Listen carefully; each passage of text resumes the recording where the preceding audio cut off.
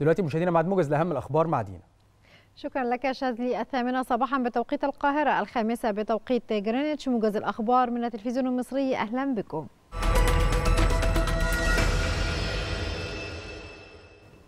تلقى الرئيس السيسي اتصالا هاتفيا من الرئيس التركي رجب طيب أردوغان. وأوضح المتحدث باسم رئاسة الجمهورية أن الاتصال تناول التشاور بشأن جهود احتواء التصعيد بين الجانبين الفلسطيني والإسرائيلي والتوافق على أهمية حث كافة الأطراف على الوقف الفوري للمواجهة والعنف.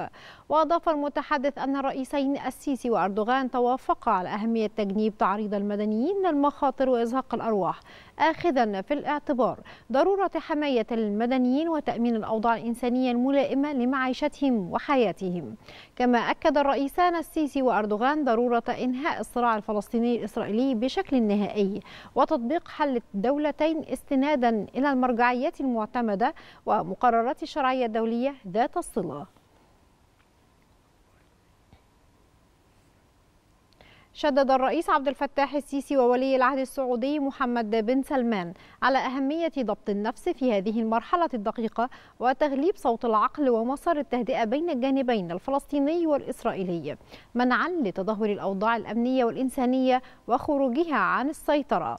جاء ذلك خلال اتصال هاتفي تلقاه الرئيس السيسي من ولي العهد السعودي حيث تم التوافق على مواصلة التشاور والتنسيق بين مصر والسعودية خلال الفترة المقبلة لتأكيد الرؤية العربية بشأن القضية الفلسطينية والتي تتمحور حول تحقيق التسوية الشاملة والعادلة على أساس حل الدولتين وفق مرجعية الشرعية الدولية وهو الأمر الذي يتطلب التهدئة الفورية ووقف المواجهات العسكرية في جميع الاتجاهات.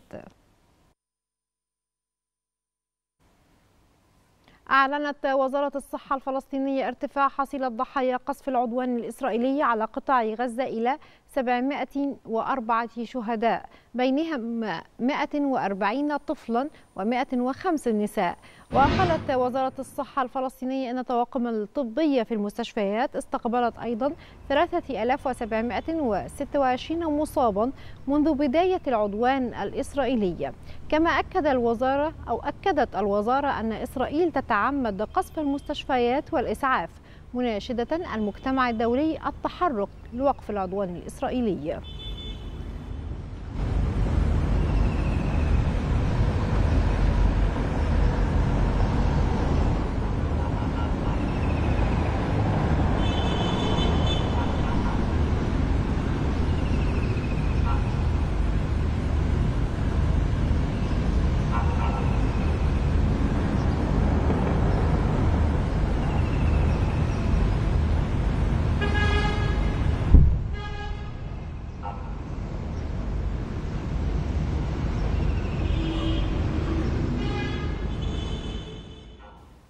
أعلن المكتب الإعلامي للحكومة الإسرائيلية أن أكثر من 800 إسرائيلي قتلوا فضلا عن 2600 إصابة بينهم حالات خطرة. وقال المكتب الإعلامي أن عدد الرهائن بقطاع غزة بلغ 150 إسرائيلياً.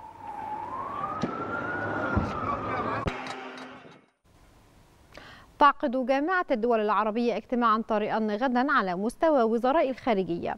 وأوضح بيان الجامعة أن عقد هذه الدورة غير العادية للمجلس جاء بناء على طلب دولة فلسطين لبحث سبل التحرك السياسي على المستوى العربي والدولي لوقف العدوان الإسرائيلي على غزة.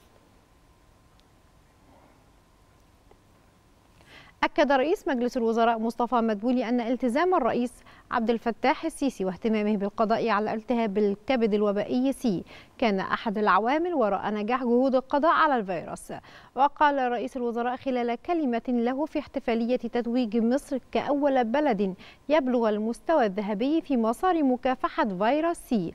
قال إن خبرات العقول المصرية التي ساهمت في التغلب على هذا الوباء الفتاك تقف على أهبة الاستعداد لمساعدة دول العالم في استنساخ تلك التجربة غير المسبوقة مؤكدا التزام الحكومة الكامل بالحفاظ على هذا الإنجاز وضمان استدامته بكافة السبل والبناء عليه لضمان تحسين المؤشرات الصحية للمصريين.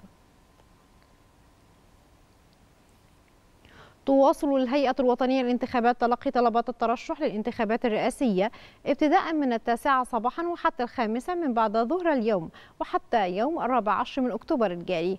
وكان رئيس حزب الوفد عبد السند يمامة قد تقدم أمس بأوراق ترشحه للانتخابات الرئاسية.